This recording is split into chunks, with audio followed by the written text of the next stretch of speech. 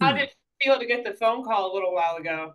Yeah, it felt good. Um, like you know, this whole time I was like, I won't cry, but I was definitely fighting tears when the when the call finally came. So, um, you know, I think it's just a, a surreal moment. You know, um, for everybody that's getting their name called, you know, to uh, all the you know sacrifices and you know the hard work and everything that you have to put in to, you know, just be considered, let alone be picked. Um, it's definitely a you know a full circle kind of surreal moment. So um, it's hard, you know, not to be proud of yourself and uh, let those tears fall sometimes. Hey, Jaylan, you've uh, you've if I remember correctly, you compared yourself before to Lavonte David's game. Uh, what is it about? Yeah. yeah, what is it about that game that you feel uh, is in is in yours that you bring? Um, you know, uh, I mean, the biggest thing, I, you know, for him compared to other linebackers is just his ability to really, you know, roam the middle of the field. Um, whether it's in coverage or you know, kind of dissecting plays um, from the snap. Um, you know, uh, offenses that get tricky, and uh, at, at linebacker, you kind of gotta uh, anticipate a lot, or you know, be be one of those guys that kind of knows what's going on. And so I think Le- Lavonte David does that well, um, and I feel like I do as well. Uh, I do it pretty good as well. So you know, just trying to roam the field, whether you know, I feel like I, I do pretty good in coverage. Um, I felt like I dissect plays really really well. So you know, I'm just looking to improve my game. Um, luckily, you know, now I got some guys to kind of to you know some vets to learn under, um, some great vets actually actually. So you know, I'm really excited. Yeah, I was going to ask about that next. So you talked about um, instinct and play recognition and things like that. Now you get to be in a linebacker room with Demario Davis. How's that feel? Man, uh, it's crazy because you know, like, uh, you know, since, like since he's been in the league, just watching him and um, understanding that he's you know uh, one of the top, you know, top three. You know, you could put him in that category as being one of the best linebackers in the league right now. So, uh, for me, you know, understanding that my goals is to be right there, you know, where he's at. Um, I think that just it means a lot, and um, I'm just glad that I get this opportunity. Um, and I can't wait to get in there and you know soak up everything like a sponge. So, I'm excited. Were you aware that the Saints were looking at you? How was your kind of interaction with them throughout this process? Um, yeah, so we talked. Uh, they came to my pro day. Um, and then you know I had a a, a lot of feedback from the GM um after. Uh, but you know it's, it's it's crazy just that draft part and you know just sitting there and you don't really know. Uh, you know you hear you hear these teams like you, you know, you know, and you just kind of sit there and wait. Um, and uh, but you know I think the best thing is that no matter who picks you or you know no matter um who decides to get you, it's it's always meant to be. And so for me, I feel like the Saints wanted me, and um, I'm I'm just really grateful that they have been they've given me an opportunity to come out there, compete, um, you know, and earn my keep. So I'm just really excited to get that chance. Who did you meet with uh, with the Saints? Uh, I met with Coach Hodges. So uh, we had a good conversation. We watched some tape, um, and kind of just gave him my you know my backstory, um, and it, you know kind of went from there. I told him that uh, you know, I was ready to compete. Um, he, you know, they told me, you know, they're looking for me to be on special teams, um, getting that, you know, that LB room and compete and just, you know, do what I do what I can, do my part to help this team win. Jaylan, what is your special teams experience and and in what roles have you gotten a lot of experience? Yeah, uh, I've done a lot of special teams throughout my, you know, my career at college. So uh, I'm I'm not really, you know, foreign or new to that. So I think for me, understanding that that's how you kind of get on that field and add value to yourself um, and then it, it could take you a long way. So I think for me, I already got a good mindset about you know special teams and um, you know and my ways of competing when I get there and you know get my get my feet on that grass. So I'm just looking to come in there and make a name for myself, um, whether it's special teams or you know just uh, helping the guys uh, elevate the room. So. How the changes in the new uh, kickoff rule?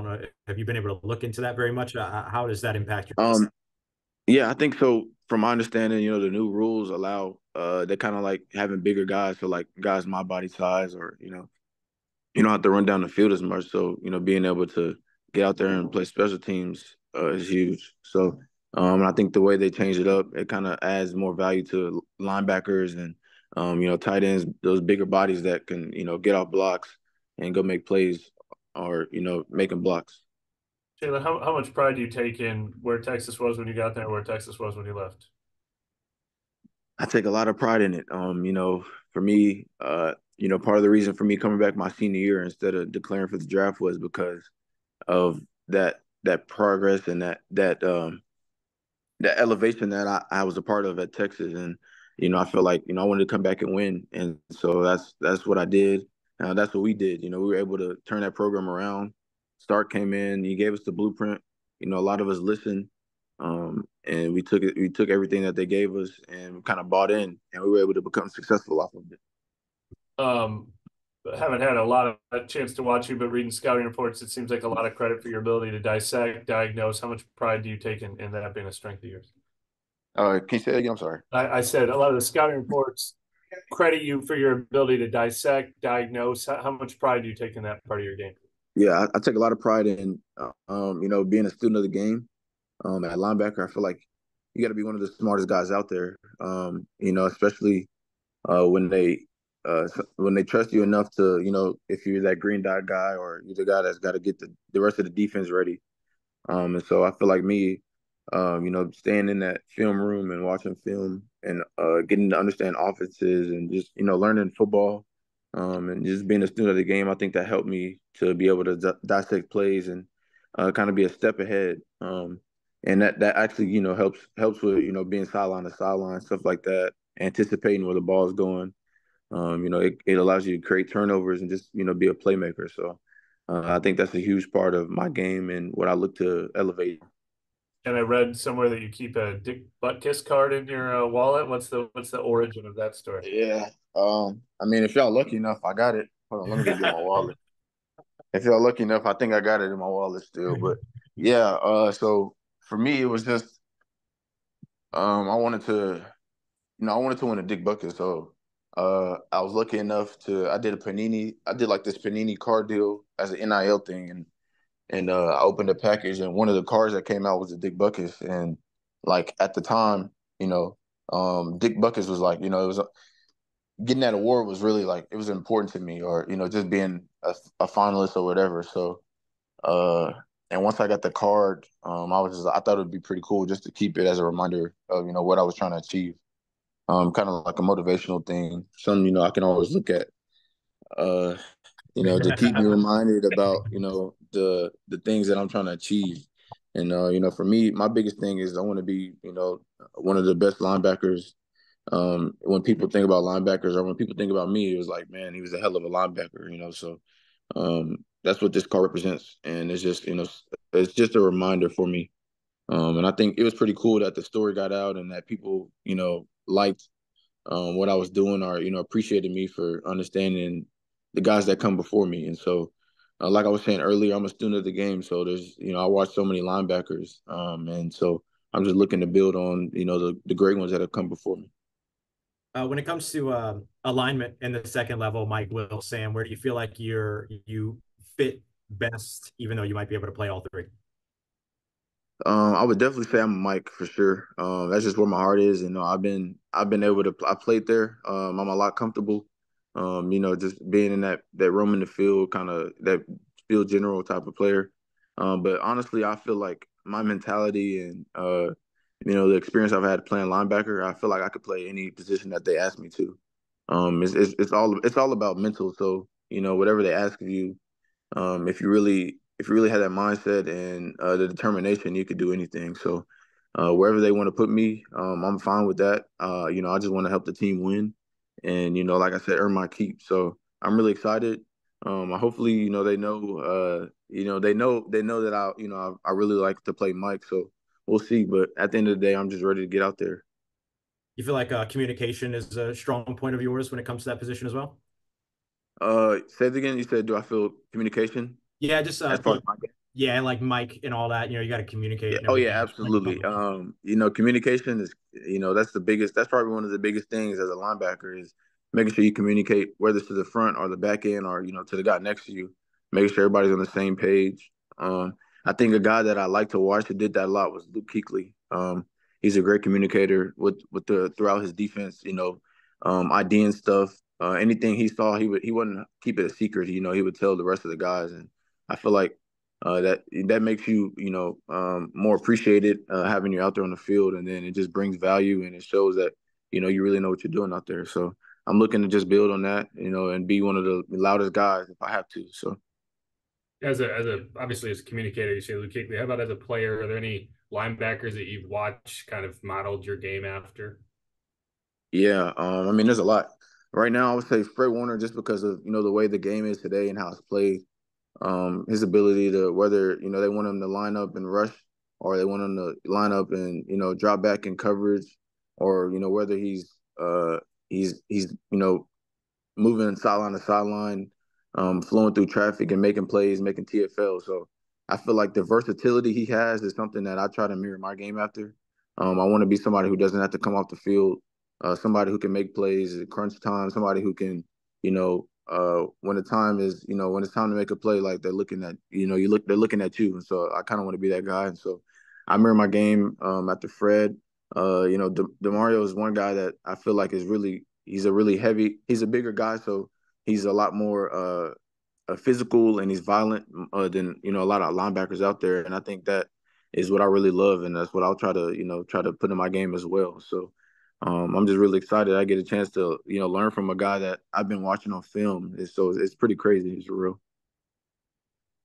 How do you feel about the way that the linebacker position has changed over time? Yeah, um, you know, I think I think the biggest thing is that uh, no matter you know how much the game changes, I feel like you'll need a linebacker out there just because of um, the things that they do or the things that they're willing to do. Um, a lot of positions don't do it or they just aren't comfortable with it. And so I feel like um, although the game has evolved to something where it's more spread out, you know, they like guys that can move and uh, you don't have to be as big anymore. You know, they don't on defense. And so I think uh, linebackers that one position that um, is kind of it'll evolve. And I think uh, linebackers just evolve with it. And so, like I was saying, you know, they don't look for guys that are just strictly, you know, run stoppers anymore. They look for linebackers that can, you know, blitz, that can rush the passer, that can draw back in coverage, that can, you know, cover backs on man to man. And so, I feel like, um, as I, you know, evolve my game now, um, I feel like I can accomplish all those things and, you know, be a player that can do all of it. And so, uh, I'm really looking forward to being able to uh, perfect my craft moving forward.